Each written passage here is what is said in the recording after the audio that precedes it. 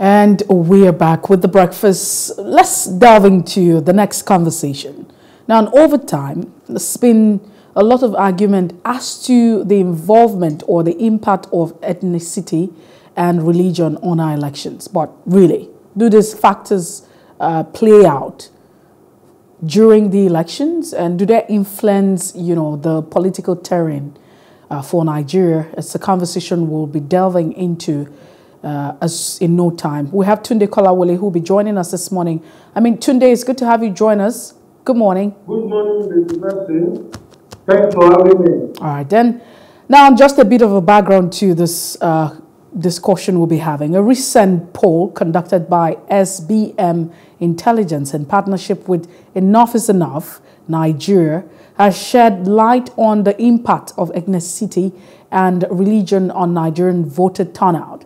Now, the poll gathered data from 11,534 respondents across the country, uh, probing into the voting intentions and preference in the upcoming uh, presidential and parliamentary elections on Saturday, the 25th of February 2023. The survey highlighted the impact of ethnic and religious division or divide on voter turnout with respondents in some region indicating that these factors would play a significant role in their decision to participate in the election. Now, according to poll result, many respondents cited ethnic and religious factors as key determinants of their voting decision. Uh, to make sense of all of this and analyze these findings ahead of the forthcoming election is Tunde Kolawole, who's a legal practitioner right here in Lagos. Uh, Tunde, it's good to have you join us. Good morning. Good morning. Good morning. Uh, Tunde, do you agree with uh, the SBM? Yes, I, I would say I do. Even though when you look at the Nigerian constitution, uh, it finds that um, the mixing of uh, religion with uh, politics. And the constitution says that um, nobody shall be discriminated against on the basis of his religion or ethnicity or disability. But the reality of life is that uh, it's been difficult for human beings to take religion to take ethnicity out of their political beliefs, out of their political practices, out of their voting patterns. And unfortunately, it is not peculiar to Nigeria alone. Even the advanced democracy society that most think are well educated and have been practicing democracy for years, you still find out that religion and ethnicity in one way or the other influences their political beliefs and the way and manner in which they vote. I give you an example. In a country like Germany, you even have political parties that are formed on the basis of a religion. Say, for example, the Christian Democratic Union in Germany.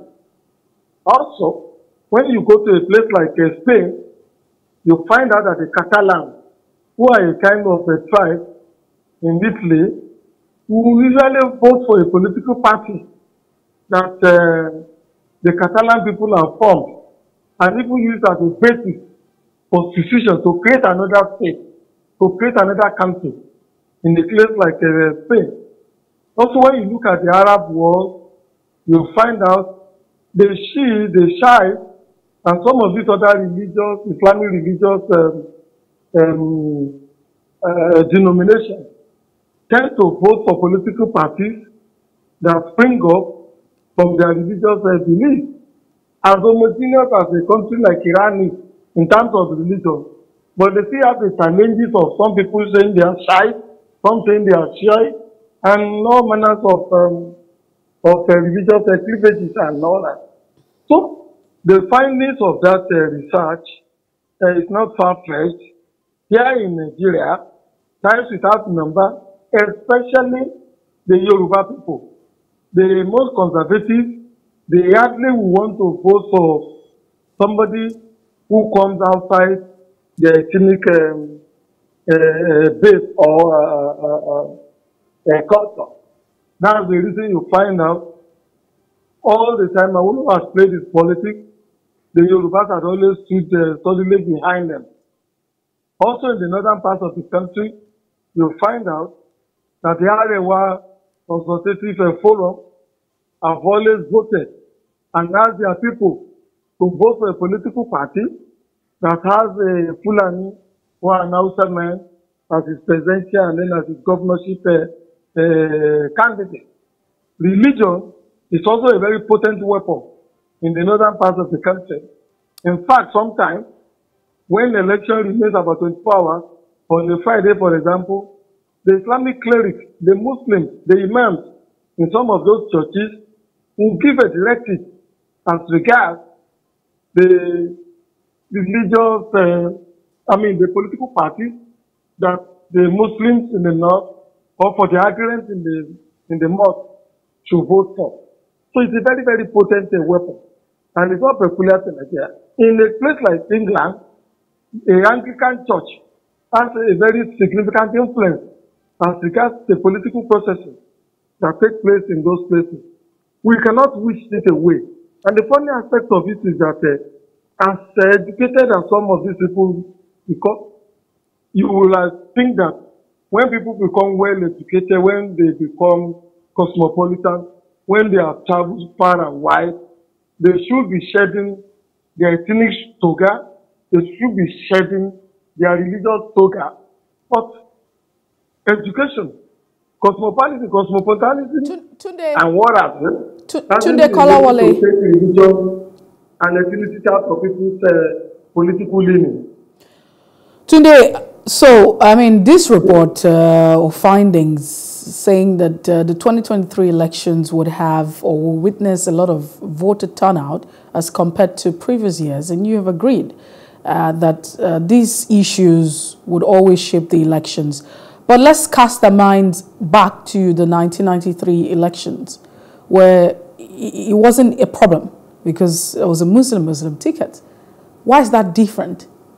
I mean, what exactly? How come religion and ethnicity did not play, you know, or have a huge role to play in that election? And why would the 2023 election be uh, decided by religion and ethnicity? Well, uh, it is not totally true that uh, religion had nothing to do with the 1993 election.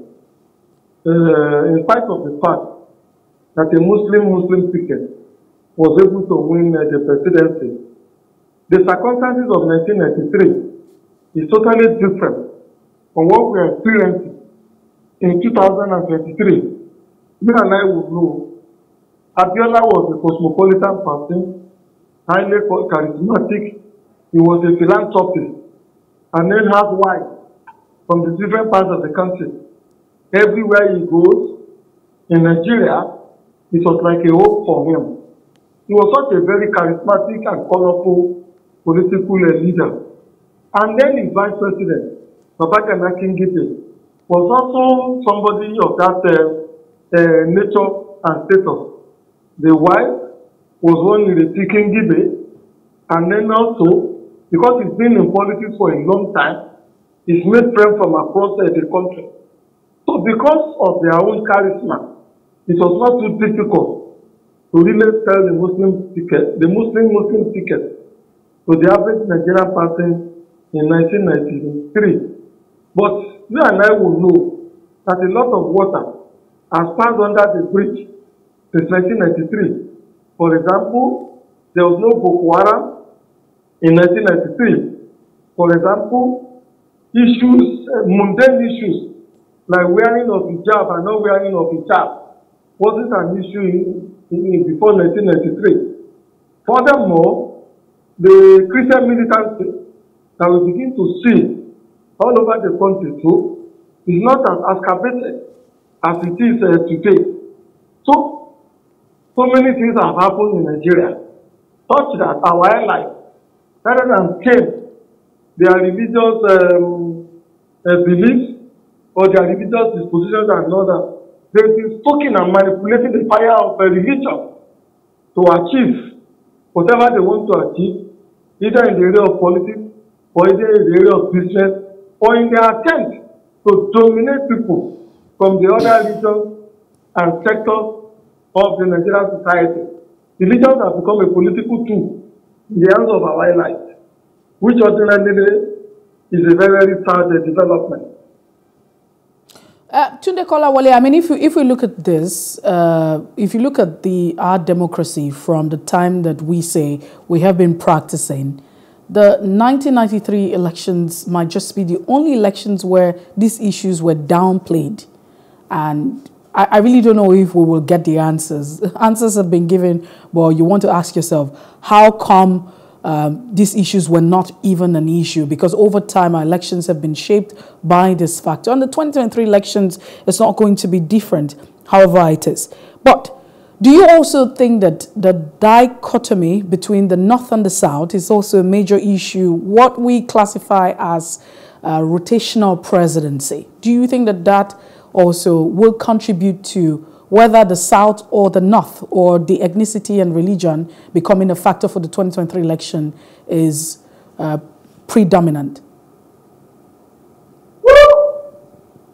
There is no doubt about it. I have no doubt um, in my mind that this uh, regional dichotomy also will have a role to play in uh, the 2023 election.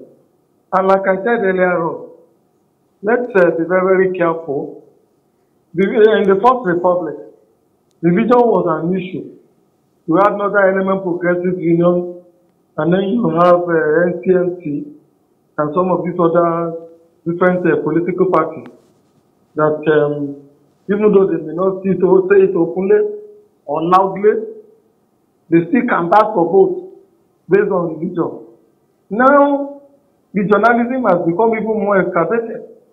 You know, if you, if you recall, it was under General Sani Abacha that Nigeria was quietly and tacitly uh, divided into six regions north, east, northwest, and war But... And that itself arose out of a desire to pacify those who are aggrieved with the nullification of the election that was conducted in 1993 and then taking into cognizance our political history.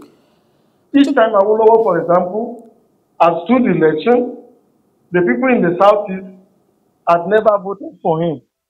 They go with the NPNC or with whatever political party that Dr. Nnamdi Azikiwe might have established. I suspect the reason for that was partly because of the of the role that Obafemi Awolowo played during the Nigerian um, uh, civil war, and also the way and manner Dr. Azikiwe was uh, shoved aside from the politics of southwest of Nigeria. Because if you look at our political history, Dr. Nnamdi Azikiwe's political party, the NCNC, was the one that was dominated in the west, in the southwest. They were winning elections. They were having people in the legislators in the and what have but when Awolowo started the action group and he mobilized his people based on ethnicity and what have you, they were able to, so to say, with the apology, remove Dr. Azikwe away from the politics of southwest of um, Nigeria. Um, and uh, never uh, since then, this regionalism has become worsened over time. Kolawole, Hello, hello, Yes, please. Uh, we, we don't have so much time, but I'd, I'd like to ask you this and that you share your thoughts in just a few seconds. Now, it's very obvious that this has always been an issue up until 1993. And after 1993, ethnicity and religion, according to history, still seem to play a major role. Now, uh, for 2023 elections, few days before that elections, there are also uh, statistics and research that have confirmed that people would turn out to cast their vote because of uh, these factors. My question is, should we, I mean, I mean, shouldn't we have a country outgrown all these uh, diversities that has held us bound and back since independence? No, no, we shouldn't. we shouldn't have outgrown it. You know, the the way to look at that is this: Does inflation that we have in the country today does it spare the Christian? Does it spare the Muslim? Does it spare the cultural uh, practitioners, uh, the traditionalists, and all that? To the best of my knowledge, everybody has been under the hammer of inflation.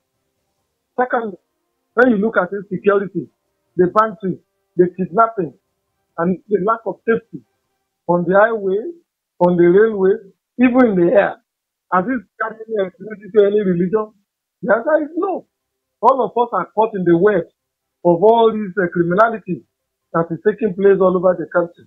So if that be the case, what we be emphasizing are those things that really unite us as a people. The things that will put food on the table of the average Nigerian person. The things that will create security for the average Nigerian person. The thing that will make it possible for the average Nigerian person to live a comfortable life without having to steal, whether in the private sector or in the public sector. But it is our airline, in order to call your advantage, in order to have an edge over the airlines of the other regions, who keeps stoking the fire of religion, who keeps stoking the fire of ethnicity, who keeps uh, stoking the fire of regionalism. If we as a nation are to develop and get to the destination we ought to be by now, we must begin to put aside, as the Constitution has emphasized, that we should never discriminate against anybody on the basis of his religion, on the basis of the tribe they come from. I, am just saying that, uh, Tunde uh, Kolawole, we need to go yes. now, but uh, you yes. say that we, we shouldn't have, I mean, you're asking yourself, why are we still grappling with the issue of religion and ethnicity in 2023? Why is that even the case? What was different in 1993, where these factors, uh, you know, wasn't even a yardstick? But is that really the case for 2023? I mean, you want to ask another question. But in all of this, how far have we been? 1960 up until this moment, we're grappling with that. Should people not cast their vote, you know, based on, uh, it's not important whatever it is that you're from or whatever religion that you hold, but what it is that you are, who you are. Should that not be the basis that we're one entity, but it's important that you have who is qualified to be part, I mean, to be elected to that position? Tunde, I know you have uh, your question, I mean, your response to this question, but we don't have time to get that right here. We have to go, and I hope that we can have this conversation just before the elections or after the elections. Thank you so much for being part of the conversation. Good morning. Yeah, thanks for having me. All right, then. Capacity should be the benchmark for putting anybody into power. Okay. Well, why that hasn't been the case for us is what we're trying to understand. We'll be right back here to have further conversations. Please stay with us.